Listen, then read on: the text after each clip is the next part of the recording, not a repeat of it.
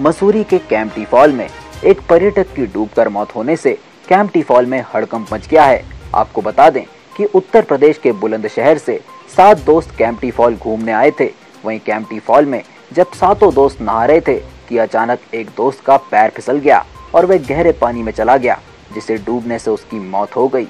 वहीं घटना की सूचना पर कैंपटी पुलिस मौके पर पहुँची और गोताखोरों की मदद से पर्यटक के शव को पानी में से निकालकर पोस्टमार्टम के लिए भेज दिया।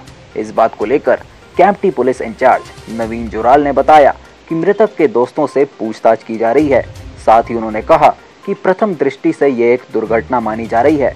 मसूरी से संवाददाता अजीत कुमार सिंह की रिपोर्ट।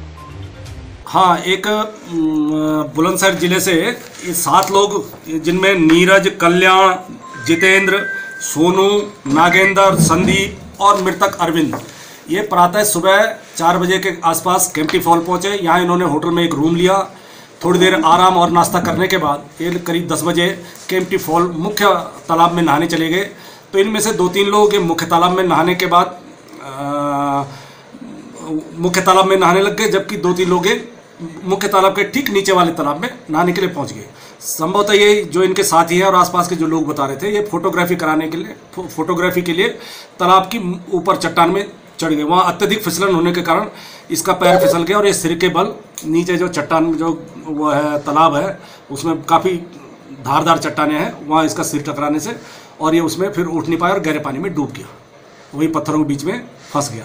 तो उसके बाद जैसे ही हमारे हमारे कांस्टेबल है उपेंद्र भंडारी जो मौके पर मौजूद था, जिसने वर्दी सहित और जू मतलब वर्दी जूतों सहित जो है पानी में उतरा गया लेकिन उसके द्वारा भी काफ़ी प्रयास के बाद भी जब डेड बॉडी नहीं मिली, हम लोग तब तक यहाँ पहुँच गए, वहाँ पहुँच गए थे लाइफ जैकेट और आपदा प्रबंधन के जो भी उपकरण थे हमारे पास, उसका उपयोग करते हुए तो गहरे पानी से तलाश करके एक पब्लिक के सहयोग से